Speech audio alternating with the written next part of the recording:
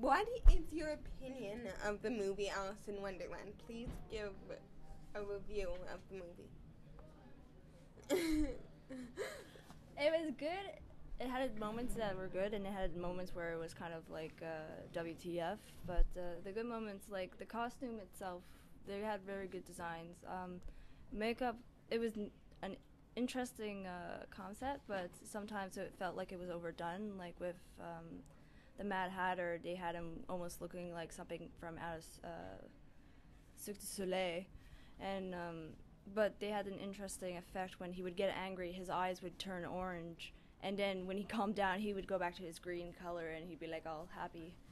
Um, I can't remember. Uh, I didn't think the 3D was really necessary because uh, it was a nice effect to have it kind of like it was surrounding you, but uh, for having something pop out at you, it didn't really do it, uh, much at all.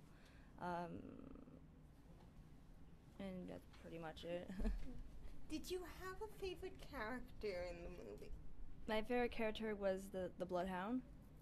Um, I liked his story the most because um, he was the, the kind of like the hero behind the scene that wanted to save his family, but would had to betray the the heroine, just the the heroine, the heroine, the hero to just you know save the day, and he kind of you know brought Alice to the queens and made it kind of better.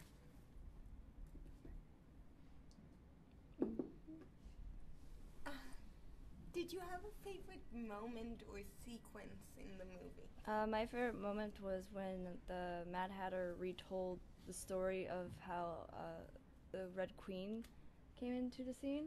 Uh, how like she kind of just destroyed everything and everything kind of burst into these beautiful colors, uh, the flame, and how uh, it kind of gave the Mad Hatter a, another dimension, uh, a more uh, feel to him. Like he wasn't just a Mad Hatter; he actually loved his home. This is why he's crazy, and it was neat to see.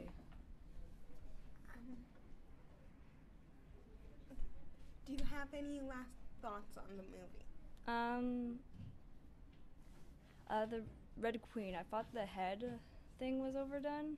The giant head. I just didn't really see why that kind of had to be the issue between the two sisters.